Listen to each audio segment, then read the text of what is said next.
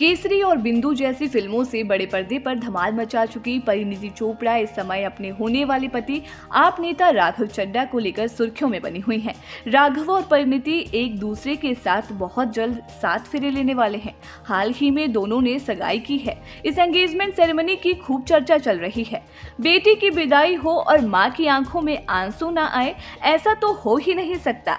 हालाँकि पूरा परिवार ऐसे समय में भावुक हो जाता है। लेकिन अभी तो बस सगाई हुई। शादी अभी बाकी है। परिणीति चोपड़ा की माँ ने हाल ही में सोशल मीडिया पर अपने मन की बातें साझा की और वो अपनी इन बातों में भावुक होती दिखाई दी। परिणीति की माँ रीना चोपड़ा ने अपनी इस पोस्ट के साथ कुछ फ़ोटोज़ भी शेयर किए हैं। रीना ने अपने इंस्टाग्राम पर पोस्ट शेयर करते हुए एक नोट लिखा, जिसमें उन्होंने खुद को धन्य बताया और भगवान का शुक्रिया अदा किया। उन्होंने अपनी इस पोस्ट में लिखा आपकी लाइफ में ऐसे कई कारण हैं, जो आपको बार बार हर समय ये यकीन दिलाते हैं कि वहाँ एक भगवान है। ये उनमें से एक है।